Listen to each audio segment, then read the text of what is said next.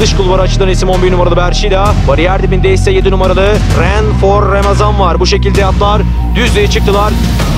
Düzlüğe çıkılır çıkılmaz. İçerideki 4 numaralı Bay Zeki dıştan gelen 13 numaralı Already yakaladı farkı da aşmaya başladı. Daha geriden 5 numaralı Maço ve 11 numaralı Berşila'nın da atakları var. Son yüze girildiğinde 13 numaralı Already önde. Fark 4 boya kadar ikincilikte. 4 numaralı Bay Zeki var dış kulvardan 3 numaralı My Dark Angel da gelmeye çalışıyor.